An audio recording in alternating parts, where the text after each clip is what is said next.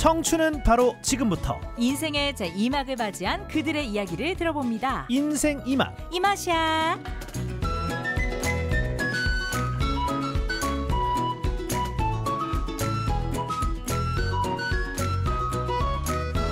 인생 이막 이맛이야 줄여서 이막 이맛 고영서 리포터와 함께하죠. 어서, 어서 오세요. 오세요. 네, 안녕하세요. 반갑습니다. 네. 오늘의 주인공은 어떤 분이실까요? 네, 제가 오늘 인생 2막의 주인공을 만나기 위해서 조금 특별한 곳을 다녀왔는데요. 어, 어딜까요? 학교로 다녀왔습니다. 학교요. 네. 학교를 가셨다고요? 네. 관악도시일까요? 학교요? 아니 우리가 알고 있는 학교 맞겠죠? 예. 학교에서 일하고 계신 분이었나 봐요. 아니요, 혹시 울산 시니어 초등학교라고 들어보셨어요? 아, 아하. 들어 봤어요. 네, 저희 네. TVN에서도 특집 방송을 다룬 적이 있는 걸로 아는데 네. 이번에 시니어 초등학교 재학생 중에 한 분을 직접 만나고 왔습니다. 어머, 야. 드디어 이막 이맛 이 코너에서도 이 재학생분을 만나게 되는 거군요. 네. 기대가 됩니다. 네, 공무원 명예 퇴직 후 현재 제2의 본업으로는 자영업을 하고 계시고요. 시니어 초등학교를 다니면서 인생 2막을 살고 계신 김대균 선생님입니다. 먼저 인사말 들어보시죠. 저는 뭐 김대균이라는 사람이고요. 현재 나이는 69세입니다. 경남 진주에서 태어나가지고 학교를 졸업하고 울산시에 임용을 받았어요. 그 공무원에 임했는데 한 30년은 공무원을 하고 명예퇴직과 동시에 울산시 산하 기관에 10여 년 또 근무를 한 이후에 정년퇴임을 했습니다. 지금은 하고 있는 것이 자영업을 조그만 걸 운영을 하고 있습니다. 공무원 할 때에도 은퇴가 올 거라는 생각을 진짜 못했습니다. 처음에는 뭐 은퇴가 남의 일로만 생각을 했는데 막상 다치다 보니까 다가오니까 지나간 일들이 이제 많이 생각이 나면서 앞으로 또 내가 은퇴를 하고 어떻게 살아야 될지 그 두려움이 상당히 컸습니다.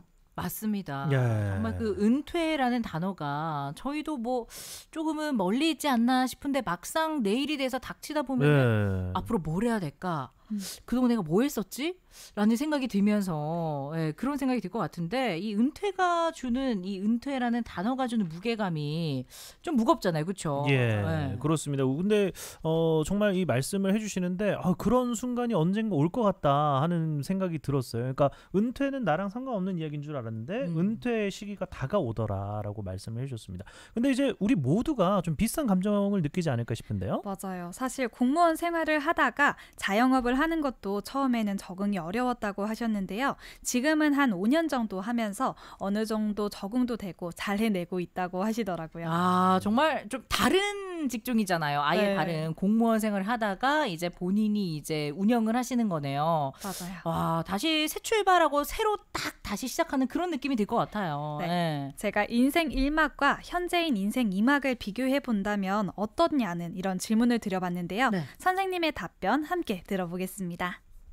인생을 3막으로 좀 규정을 하고 싶어. 저 자신은 1막은 학교를 졸업하는 그 기간 한 25, 6까지 안 되겠습니까? 울산에 와가지고 이제 공무원을 하던 시절은 2막으로 보고 이제 은퇴를 하면 3막으로 이제 이렇게 생각을 하는데 뭐 은퇴라는 것을 저만 맞이하는 것도 아니고 많은 사람들이 다 맞이하고 쌓았던 열정, 노력 이걸 바탕으로 해가지고 은퇴를 하면 이제 자원봉사를 한다든지 뭐 새로운 취미 생활을 한다든지 시간을 보낼 거라 생각을 많이 했거든요. 근데 실제 그게 막상 예, 맞이하다 보면 그게 안 되더라고요. 근데 다른 분들이 요즘은 이제 한창 그 유행하고 있는 뭐 한 달 살이, 6개월 살이 타지에 가서 마- 경험을 하고 하는데 나는 아직 그걸 못 했거든요. 어느 정도 이제 이내 하는 업이 좀 마무리가 좀 되면 그런 것도 한번 해볼 생각을 지금 가지고 있습니다. 아 너무 좋죠. 한 달 살기 이런 것들이 실제로 굉장히 그 인기입니다. 어, 그리고 또 선생님들도 이런 말씀 해 주셨는데 어, 나중에 기회가 된다면 뭐 우리 애청자님들께 그 나 한 달 살기 해봤다 하시는 분들의 그런 경험담도 한번 들어보고 싶어요. 맞아요. 은퇴를 하고 나서 이런 한 달 살기나 6개월 살기를 해봤다라는 분들의 이야기도 한번 들어보고 싶네요. 근데 정말 우리 선생님께서 실제로 그게 막상 내 일이 돼서 보니까 뭐 한 달 살기나 이런 것들이 안 되더라. 이게 예. 정말 현실이거든요, 사실. 하는 일이 또 마무리돼야 하신다고 네, 하잖아요. 그렇죠. 다른 일도 해야 되고 있다 생계도 있고 여러 가지가 이제 또 엮여 있다 보니까 우리 선생님 선생님은 또 그러시지 않으셨을까 저는 또 궁금해요. 타지에서 오셨잖아요. 네. 울산의 일 때문에. 그러면 왠지 은퇴를 하고 나서 다시 고향으로 가고 싶다 이런 생각이 드실 수도 있을 것 어, 같거든요. 맞아요. 네, 나이가 들면서 은퇴 후에는 본 고향으로 돌아갈까 하는 고민도 있으셨대요. 아. 그러다가 울산에서 시니어 초등학교 재학생으로서 또 새로운 만남, 공부를 하고 계시면서 그 생각을 접었다고 합니다. 선생님이 이야기 좀 더 들어보겠습니다. 그럼 어떻게 보면 울산이 제2의 고향이잖아요. 여기를 한번 떠날까 하는 생각도 없지 않아 있었어요. 애들이 다 나가 있고 혹시 내가 아프면 그 애들 한번 와서 볼 수 있을까 하는 이런 생각을 하게 되더라고요. 나이 이제 들다 보니까. 그렇지만은 내가 여기에서 지금 45년 정도의 생활을 했거든요. 울산에서. 그 울산이 참 어떻게 보면 살기 좋은 도시 아니겠습니까? 뭐저 산도 가까이 있고 바다도 좋고 음식도 좋고 양쪽에 해운대, 경주 막 가볼 수 있잖아요. 그 너무 좋거든요. 그래서 이제 떠날 생각은 없고 그러다 이제 이런 친구가 이런 얘기 있다고 하면서 여러 가지 얘기를 해주더라고요. 이제 일기생으로 졸업을 했어요. 소개를 해줘가지고 그 입소문 타고 나온 거죠. 아, 그러니까 일기생이었던 친구가 소개를 해줘서 학교에 학교. 또 예. 입학을 하게 된 거군요. 사실 정말 울산은 타지에서 일하러 오시는 분들이 많아서 나이가 들면 고향에 다시 돌아가야지 고향에 갔다 이런 분들이 또 계시잖아요. 네, 네. 그런데 이제 오늘 주인공께서는 뭐 여기 위치도 좋고 뭐 산도 가깝고 뭐 바다도 있고 뭐 떠날 맞아요. 이유가 없다. 네. 울산 살기 좋다. 이런 말씀을 또 해주셨습니다. 그리고 또 시니어 초등학교라는 그런 좋은 것도 있고요. 선생님께서도 이렇게 또 지인 소개로 또 시니어 초등학교 알게 되면서 또 즐거움을 또 찾으신 거네요. 네, 맞습니다. 시니어 초등학교가 처음 지어지게 된 계기도 60세 전후로 퇴직을 하다 보면요. 재취업을 하는 경우도 있지만 그렇지 못한 분들은 갈 데가 없잖아요. 네. 노인 복지관에 가기도 조금 어린 나이시고 맞아요. 울산에는 직장 따라서 타지에서 오신 분들이 많기 때문에 어울릴 만한 친구가 없다는 게 현실이라고 합니다. 그 부분을 개선하기 위해서 인생 2막을 새롭게 펼치는 데 갈 곳이 있어야겠다 하는 취지로 만들어져서 운영이 되고 있다고 합니다. 예, 근데 이제 아까 선생님께서 시니어 초등학교 그 일기는 아니시고 네, 2기. 예, 2기라고 하셨는데 그렇게 또 오래되진 않았어요, 그죠? 맞아요. 오래되진 않았지만 또 홍보도 많이 되고 입소문을 많이 타서 벌써부터 그 지원서 제출 시기가 되면 재학생인 선생님께도 연락해 달라고 말씀하시는 분들이 많대요.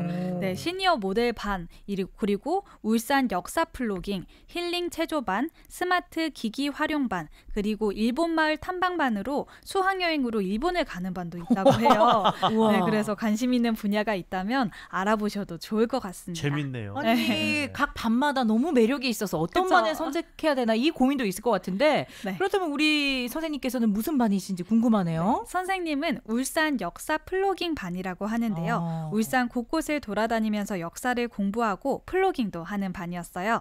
재학 도중에 선생님은 본인도 몰랐던 취미를 알게 되셨다고 하는데요. 함께 들어보겠습니다. 기억이 남는 에피소드나 이런 거는 내가 지금 파딱 생각나는 거는 없는데 그 박물관이나 미술관 생긴 지 얼마 안 됐잖아요. 그 전에 한 번도 못 가봤더랬어요. 고기를. 그래서 여기 와서 그런 데를 가니까 진짜 후회가 되는 거예요. 왜 미리 와서 이런 걸 좀 알고 해- 하지 않았을까 하는 그런 자책이랄까 그런 것도 있고 그러고 뭐 서원이라든지 고택이라든지 그런 것을 진짜로 한 번 가보지도 않는데 이 프로그램을 통해서 이제 가지니까 너무 좋다. 내가 누가 울산에 오면 이런 걸 좀 내가 안내를 하면서 홍보를 해야 안 되겠냐 하는 그런 생각을 가지고 있습니다. 내가 그냥 미술, 문화 이런 거 관심이 없다 생각했는데 그런 게 아니었네요. 그렇죠. 내가 너도 스스로 놀랐어요. 안 그렇습니까?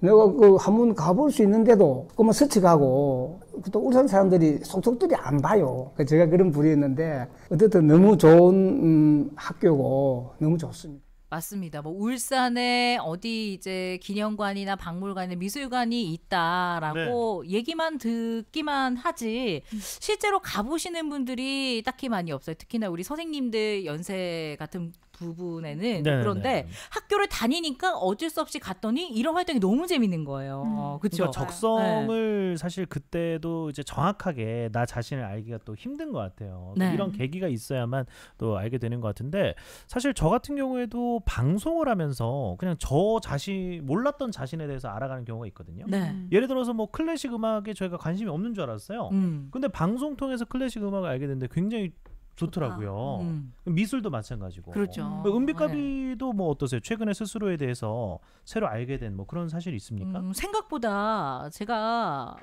운동을 좋아하더라고요. 어. 뭐 힘든 운동까지 아니지만 예. 전문적인 운동은 아니지만 아, 몸을 움직이기가 역시 좋더라고요. 어. 예, 그래서 정말 살아가면서 내 자신을 안다는 게 평생을 살아도 잘 모르겠고 예. 내가 나를 모르는데 남이 나를 어떻게 알까요? 예. 그쵸? 그러니까 이렇게 예. 또 선생님께서도 은퇴하시고 여유가 생기니까 어, 자기 자신을 좀 되돌아볼 그런 기회가 생기셨다는 거잖아요. 네, 맞아요. 아무래도 무엇이든 직접 해보기 전까지는 모르잖아요. 젊어서든 나이가 들어서든 도전만이 삶을 살아가는데 새로운 활력을 주는 것 같습니다. 또 선생님도 이렇게 너무나 만족을 하고 다니고 계시지만 아쉬운 부분도 있다고 합니다. 끝으로 함께 들어보겠습니다. 하나 아쉬운 거는 남자들이 별로 안 와요. 지금 이 180명이라고 했지 아까. 그런데 남자가 10% 정도 되려나 그래요. 남자들은 나이가 들면 자꾸 안으로 들어오는 경향이 있는 것 같고 여성분들은 남성 DNA가 더 하- 활발하다며요. 그러니까 밖에 나가서 또 남자들은 친구들끼리 이게 모여가지고 어디 가는 걸 그렇게 좋아하진 않아요. 되게 친한 사람 같으면 몰라도 그 여자분들은 뭐 웬만하면 언니 동생 구고 손잡고 뭐 가고 이러니까 여기 오신 분들도 거의 뭐 수영 동아리라든지 뭐 탁구를 했다든지 이런 분들이 한 몇 명씩 짝을 지어 거의 왔거든요. 그래서 남자들이 좀 참여를 좀 많이 좀 해주면 좋겠다. 그런 생각을 합니다. 예. 저는 좀 벌써 공감이 되는데요. 안 저는. 좀, 예, 좀 밖에 나가는 거 네. 저도 그렇게 막 좋아하진 않는데 여성분들은 이렇게 이제 삼삼오 이 언니 동생 뭐 새로운 친구도 잘 사귀시고 하는데 이 남자분들이 좀 참여를 여성분들에 비해서는 좀 덜한다는 그런 아쉬움이었습니다. 이 남자분들도 활동을 그래도 하셔야 됩니다. 나오셔야 돼요, 그죠? 네. 그리고 시니어 초등학교는 1년 과정이래요. 어. 근데 선생님께서는 막상 해보니까 1년은 뭐 너무 짧다. 적어도 2년, 3년은 다니고 싶다. 이렇게 건의까지 해보겠다 말씀을 음. 하실 정도로 만족하고 계셨거든요. 그러니까 남녀 가리지 않고 많은 분들이 건강하게 인생 2막을 보내셨으면 하는 마음입니다. 6년제로 그렇습니다. 바꾸면 어떨까요? 실제 초등학교처럼 6년은 다녀야. 네. 예, 될 것 같은데요. 예, 그렇습니다. 자, 우리 청취자 여러분께서도 이막 이맛 이 코너에 직접 참여하실 수 있습니다. 인생 이막을 살고 계신 울산 분들이라면 누구나 가능하니까요. 여러분의 은퇴 전후의 일상과 삶의 이야기 들려주시면 감사하겠습니다. 네, 샵 1044 1번으로 보내주시면 되고요. 단문은 50원, 장문은 100원입니다. 자, 오늘도 고생 많았습니다, 영서 씨. 네, 감사합니다. 네, 이어서 30분 교통 정보